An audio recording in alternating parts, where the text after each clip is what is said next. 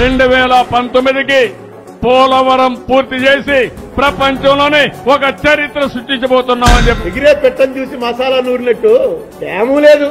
Distributaries లేవు. Tunnels లేవు. Two thousand నైన్టీన్కి గ్రావిటీ మీద వాటర్ ఇచ్చేస్తారు.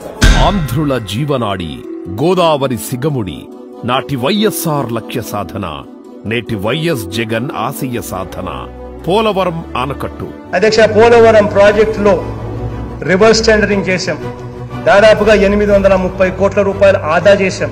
ప్రాజెక్టు రెండు వేల ఇరవై ఒకటి జూన్ నాటికి కంప్లీట్ చేస్తాము నీళ్ళు ఇస్తామని కూడా ఖచ్చితంగా చెప్తాము గత తెలుగుదేశం ప్రభుత్వం ధనదాహం వల్ల పోలవరం ప్రాజెక్టును డబ్బులు రాల్చే చెట్టుగా వాడుకొని దానిని పూర్తి చేయాలనే విషయాన్ని గాలికొదిలేశారు గతంలో స్వయాన మన దేశ ప్రధానమంత్రి వర్యులు శ్రీ నరేంద్ర మోదీ చంద్రబాబు నాయుడు ప్రభుత్వం పోలవరం ప్రాజెక్టును ఒక ఏటీఎంగా వాడుకుంటున్నారని విమర్శించారు ये टीडीपी के लिए ये पोलावरम प्रोजेक्ट एटीएम है एटीएम उसमें से निकालो నాటి తెలుగుదేశం ప్రభుత్వం పోలవరం ప్రాజెక్టు పరిధిలోకి వచ్చే నిర్వాసితుల పునరావాసం పనులు గాలి కొదిలేసి పోలవరం యాత్ర అంటూ అనవసరపు ఖర్చులకు పోయి రాష్ట్ర ఖజానాను ఖాళీ చేశారు గత చంద్రబాబు నాయుడు ప్రభుత్వం ఐదు సంవత్సరాలలో మూడు వేల నూట పది కుటుంబాలకు పునరావాసం కల్పిస్తే నేటి వైఎస్ జగన్ ప్రభుత్వం ఒక లక్ష రెండు వేల నాలుగు వందల తొంభై ఒక్క కుటుంబాలకు దశలవారీగా పునరావాసం కల్పించబోతోంది.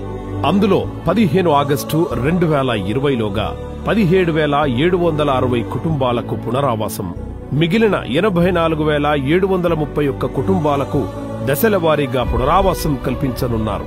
పునరావాసం కాలనీలో పాఠశాల అంగన్వాడీ కేంద్రం గ్రామ సచివాలయం వైద్య కేంద్రం విశాలమైన రహదారులు విద్యుత్ తాగునీటి సౌకర్యం వంటి ఏడు రకాల సౌకర్యాలు కల్పించబోతున్నారు. నేడు ప్రస్తుత రాష్ట్ర ప్రభుత్వం సహాయ పునరావాసం కోసం చేయనున్న ఖర్చు ఇరవై ఐదు వేల రెండు వందల నలభై తొమ్మిది పాయింట్ ఒకటి నాలుగు కోట్లు.